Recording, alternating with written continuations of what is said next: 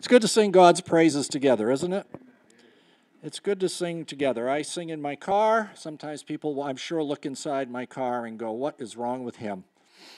And uh, it's a good problem to have, singing in your car. And uh, there are those that go by that are playing other kinds of music that shake your car. That's, that's different. I'm not there yet, but someday. Well, here we are in first Sunday of Advent, Christmas season, the strangest strangest Thanksgiving some of us had. We had our immediate family with us because we've been with each other through the whole thing here anyway. Um, but I know a lot of other families could not get together and did Zoom meetings. I talked to one of my aunts. She was able to Zoom her family. They're all over the country. And, uh, but I was thinking about the word signs, and then I happened to see on the news that the Friends of Baxter State Park for a fundraiser are selling older trail signs, and I thought that's really cool. Uh, so I went online to see what they're bidding for, and I, I didn't bid. they're, they're not that cool. They're really nice, but they're, they, these are pricey little pieces of wood. Um, I have not climbed Katahdin now in a number of years. It's been a long time, but uh, in my younger days, uh, I think we'd made two or three attempts and, and, went up from Roaring Brook, for those that are familiar with it, up to Chimney Pond. And then you had to check in with the ranger station at Chimney Pond, and there was fog. And I, it's amazing what times of year there's fog and ice up on top of the knife's edge. And they went, nope, you're not going up. And then finally, we had a nice late summer day, and me and Dick Sweet and Jeff Norton and Wayne Noss summited, and then across Knife's Edge and back down to Roaring Brook. It was, it was a great day. Um, yeah, it was that was fun. I don't think I could do knife edge. How many of you have crossed knife edge on Katahdin? Yeah, I don't think I'd do that again. I don't think my brain would let me. Um, yeah, I, I, I, I could, but then somebody'd have to pick up my fallen body somewhere. Anyway, I get too dizzy. So, so, I was looking through the signs they're selling, and I think, oh, they're so cool. It would really be fun to have, but I'm not sure Lois even wants one of those in the house. So why would I bid that much money for one of those? Signs are interesting things. This is a sign I found, and this is my theme for our Advent season. If you're looking for a sign, this is it, and that's in our living room. I don't think it's going to stay there a long time, but I, I thought I'd put it there for now. If you're looking for a sign, this is it. Signs are pretty handy, right? How many of you were driving before GPS? Most of us. Um, GPS is really handy at times. At other times, I've been in Boston. A few years ago, I was in Boston, really in the heart of Boston. And I was first at the light and I had ch- taken a little different route than GPS suggested. Meanwhile, GPS is sitting there calculating, calculating, cal- the light changes. You know what you do in Boston when the light changes? You go. You don't wait for GPS. So, but I've been around Boston enough, so I, I kept the GPS confused the whole time. It's chewing on every turn I made, but I got us out of there. But we like signs, and I was looking at signs when I was in Boston. I knew where I wanted to get to. You're looking for a sign. Signs can be really helpful, but you probably should pay attention to them. Years ago, we did a family trip out west, and we were coming down over, we'd gone over one of the real high mountain passes, and we're coming down the switchbacks on the other side. And we looked and we saw a tractor trailer rig on its side after one of the hairpin turns. And it's funny because all through that piece of road, there were lots of signs that basically said, here's your speed, and uh, somebody in that tractor trailer truck either didn't follow the signs or didn't know what his load was or it shifted or whatever, but he went, he went over and uh, went over driver's side. I don't think that's a good way to go, but anyway. Looking for signs. This is the verse that came to my mind as I was kind of chewing on this for a while. Some of the scribes and Pharisees answered him, that's Jesus saying, Teacher, we wish to see a sign from you. We wish to see a sign from you. So I did some research on signs um, because I, I, thought, what was it they were looking for? What was it, I should say, that they hadn't seen yet? Not just what they were looking for, but what hadn't they seen yet? And what exactly are you and I looking for? What are we looking for? We're looking for answers. We're looking for happiness. We're looking for whatever. What are we looking for? What is a sign, biblically speaking? I found a definition that works, but it's a little cumbersome. It's a little wordy. We'll plow through it though, anyway. A mark by which persons or things are distinguished and made known. That's a clunky way of saying something that shows you something. In Scripture, used generally of an address to the senses that attests the existence of supersensible and therefore divine power. In other words, something miraculous and out of the ordinary happens, and that catches your attention, and you go, wow, what's going on here? It's not the norm, it's something unusual. Looking for a sign, looking for a sign. So I'm going to look at a couple signs this morning and then hopefully carry this through for the next few weeks. Um, because I've been quite fascinated so far that I've gone in this study that God does speak to people in different ways. We think of those in the prophetic realm that get direct revelation from God. But all around us, as Paul says in Romans 1, there's the evidence of the Creator God. There is, there is plenty of evidence there that God is faithful. It's a new song I hope we'll learn for the new year. It's titled Evidence. Can't scratch through this thing. Anyway, this is from Isaiah chapter 7. And during most Christmas seasons, this scripture probably comes up if you do some, if you subscribe to one of the many of these things online that give you Bible verses for the occasion. Um, Isaiah 7. So again, the Lord spoke to Ahaz Ask the Lord your God for a sign, whether in the deepest depths or in the highest heights. And Ahaz, he was king, said, I will not ask. I will not put the Lord to the test. But if the Lord says to ask for it, you should ask for it, by the way. Then Isaiah said, Hear now, you house of David, is it not enough to try the patience of humans? Will you try the patience of my God also? Therefore, the Lord himself will give you a sign. The virgin will conceive and give birth to a son, and will call him Emmanuel. And I've stopped there. There's obviously more to that passage but it is something unusual. And of course, it wasn't fulfilled during Isaiah's time. And once again, the, the, the telescope of prophecy, time's compressed, but it still had that reaching fulfillment, and that's where we're going to arrive at the next one Mary's sign in Luke chapter 1. In the sixth month of Elizabeth's pregnancy, God sent the angel Gabriel to Nazareth, to a, a town in Galilee, to a virgin pledged to be married to a man named Joseph, a descendant of David the virgin's name was Mary. The angel went to her and said, Greetings, you who are highly favored. The Lord is with you. So, is this an unusual supernatural event? Big time. Big time. How will this be? Uh, asked the angel. Mary asked the angel, Since I am a virgin. The angel answered, The Holy Spirit will come on you, and power of the Most High will overshadow you. So the Holy One to be born will be called the Son of God. Those are very powerful words to have an angel speak to another human being. we some of us are quite familiar with these passages and we lose the impact, the power that's in them. Even Elizabeth, your relative, is going to have a child in her old age, and she who is said to be unable to conceive is in her sixth month. This is, the angel closes his little speech with this phrase For no word from God will ever fail. The older translation is will be void of power. God speaks, there is power there is power. So she gets a sign. And then God, in his graciousness, gives one to Joseph. Again, this is an unusual chain of events. And this is in Matthew's account. This is how the birth of Jesus, the Messiah, came about. His mother Mary was pledged to be married to Joseph, but before they came together, she was found to be pregnant through the Holy Spirit because Joseph, her husband, was faithful to the law, yet did not want to expose her to public disgrace, had in mind to divorce her quietly.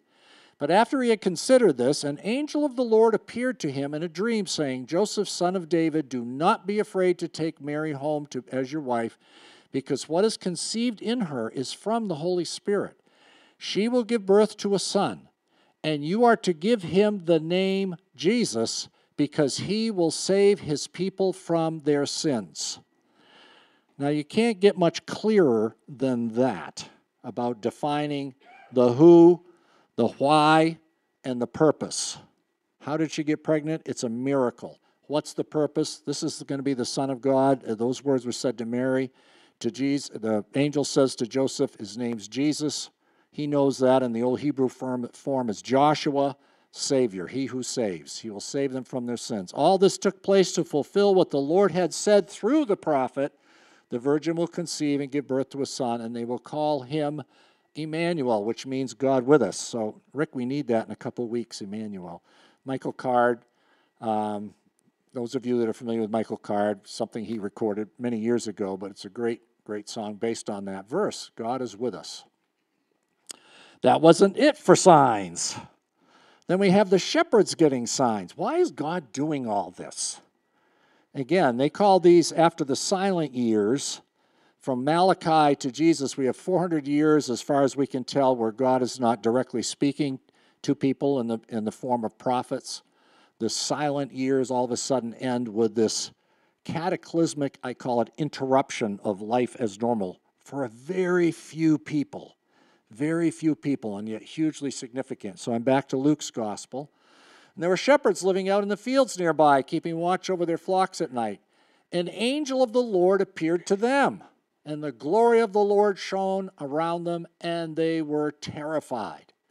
But the angel said to them, Do not be afraid. I bring you good news. What's our word we use that means good news?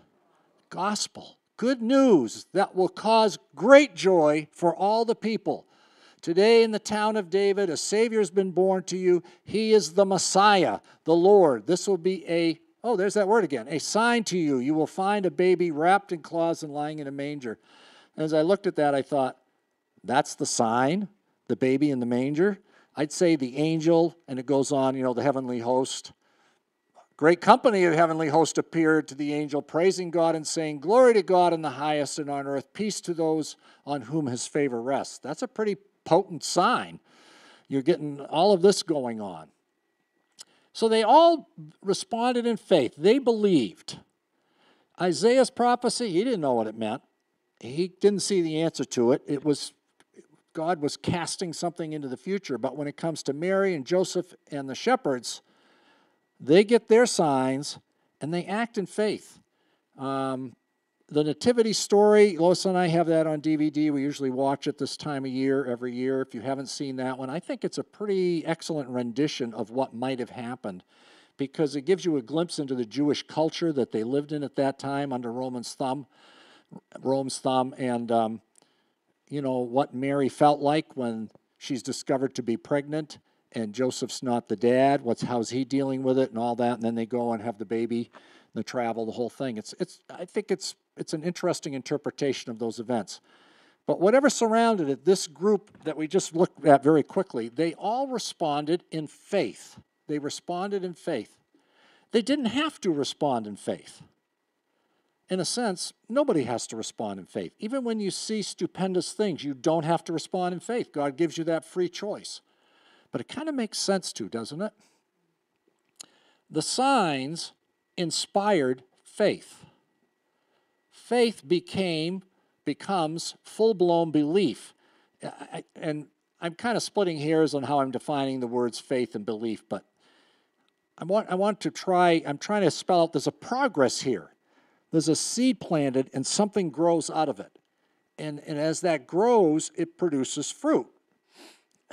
And then because that faith seed's growing it turns into action mary's action Joseph's behavior and his actions, the shepherd's actions, as simple as it sounds. They leave their sheep and go down into the village and find the baby in the cave and the mother. So their belief follows into action. There's something that happens there, and they respond to it. And it makes me think of what's going on in our world today. There's a lot of stuff going on in our world today. A lot of stuff. Obviously, here in our country, um, we're dealing with the election and, and what's going to come with all of the things post election. That happens every four years. Worldwide, it's the, the COVID pandemic that is growing in numbers globally. And then there is the hope that these new uh, immunizations are going to work and work properly for the most people. Nobody knows till it happens. So there's a lot of unknown things going on. And yet, I think tied into many of these things, God is calling people to himself if they will respond, if they will see what's going on. I'm not saying that the election is a sign or that COVID is a sign, and yet, in a way, they are. They might, they're not the final destination, but they're signposts. And all the stuff that's going on, probably not as miraculous as the ones we just looked at, but what do you see God doing, or hear, or perceive Him doing? Because God is doing things. Uh, we had something going on in our lives. Lois and I were talking yesterday, and I said, if God is sovereign, then He knew the timing of these events that led up to this. And so, therefore, some things that I couldn't figure out and, and were very confusing to me he, because he's sovereign, then he already understood all that before it happened. But he wants to know what I'll do with it. So he's looking at my response. There's things going on probably in your life that don't make sense right now. You don't, you don't see the purpose in it. What is God doing? But if he really is sovereign and he really does love us, then we can stop and say, God, you are faithful. Help me to get this. I don't want to miss something that's key here. How will you respond to what's going on in your life, whatever God is saying to you? And more than that, maybe, how will you respond to someone else when things are going on in their lives? And here I want to just share a little story that I heard on the phone yesterday in the car. In this picture, I don't know how well you can see it. It's a picture of my Uncle Alden Street and his wife Betty. She's been in a nursing home for a couple of years now out in North Windham. And uh, basically, this is their level of contact since COVID. They have a window, they put their hands to a window. And uh, I can't imagine, number one, that whole circumstance. And a few of you in this room know my Uncle Alden. He's, he's, uh, he, he gave me permission to share his story here. Um, he's a character, if I can say that, and I think he would agree with me. He's been a businessman. Um, he's been an over the road truck driver. He's been a school bus driver. He, um, he's far more type A than I am, if I can classify it that way. And he was next to my mom. My mom was the oldest, and then Uncle Alden. And the joke was we didn't think they came from the same parents because they were so different. They had very different personalities. But my Uncle Alden, in his, he's always been a Christian, but he, his own wordings were, I, I, I didn't follow the Lord the way I should have until later in his life. And then it's like he really has been on fire for the Lord. He's going to turn 93 next month, but his mind's way better than mine. I know you'll say that doesn't take much, but it is. His mind is sharp as can be. He is limited in mobility, um, but he is not limited mentally and he's not limited spiritually. So recently, he had gone to visit family. He had a helper that would drive him, and they, they had a motel room. And in the morning, he got up early to the lobby, went down to get himself some coffee and a pastry or something. And there weren't many, there wasn't anybody else in the lobby. And, and another gentleman came down that was obviously a businessman, nicely dressed, etc. He got a coffee, and uh, they're wearing their masks and all that stuff. And my Uncle Alden says, Hey, why don't you come down and have your coffee with me? Come over. So they sit across the table from each other and start having coffee. And they're just chatting. Uncle Alden's getting to know him, he's getting to know my Uncle Alden. But Uncle Alden said, I could see in what he, hear in what he said and see in his face, he was laboring under something. And I don't know what it is, but he said, I decided I'd ask him. And I'd say, I, I asked him if, if he could come up and share it. He said, I, I can't now, but maybe I will sometime because Lois and I are listening as we're going down the road in my truck. And Lois just starts crying, and I'll have to work on it here. So, anyway, the guy says, Yeah, I am. I'm going through a tough time in my life. And, and Uncle Alden goes, Did you know there's someone that can take that burden from you? and guy goes, No. Alden says, I explained to him the way of salvation through Jesus. And he said, with tears running down his face, the two of us sitting in that motel lobby, he gave his heart to Christ right there. yeah.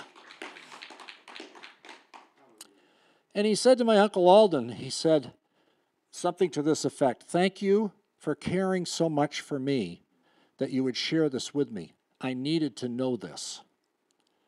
And Uncle Alden said, Well, I found the same love and forgiveness, so that's why you know, uh, so it's my paraphrase. Uncle Alden, by the way, is a great storyteller, so if, if I can get him up here, it'll be way better. But the outcome was still the same. He was sensitive enough, my uncle was sensitive enough as he talked to that man to go, This guy's dealing with something. And you know, we don't even have to know what they're dealing with. That's not our that's not our deal. But we do know where our help comes from.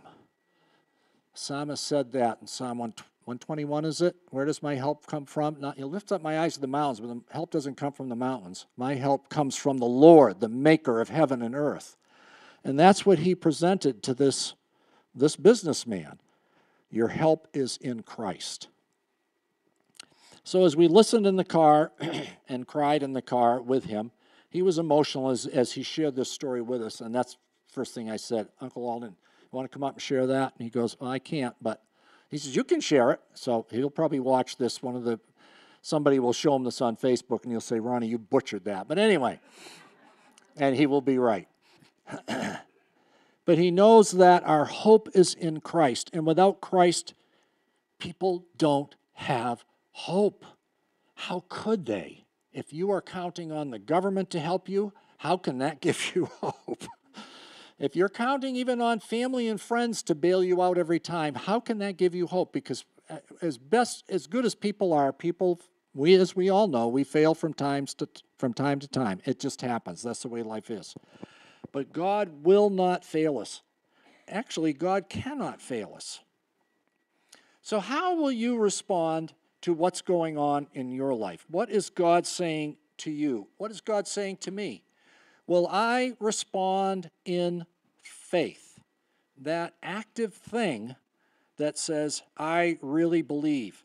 I get a little bugged at Christmas season because there's a lot of I believes out there. Have you noticed that? They believe in elves, they believe in this, and they believe in that. And uh, I think, no, you're robbing a really good word, belief, pistis faith. and You're stealing that word when it, it, it only works when we put our faith in the Messiah, Jesus Christ Himself.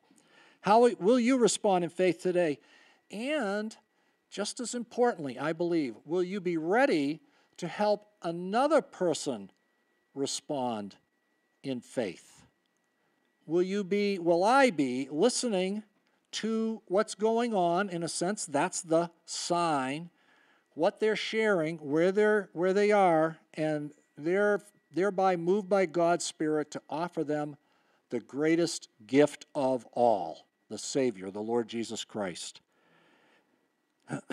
I love, at Christmas time, it reminds us of this powerful name, God with us. God is with me.